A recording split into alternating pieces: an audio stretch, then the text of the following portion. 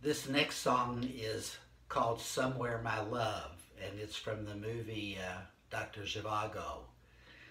Uh, this particular uh, effort is uh, as much a learning process of editing as it is of learning the piano. So there was a lot of editing that I experimented with in this particular piece.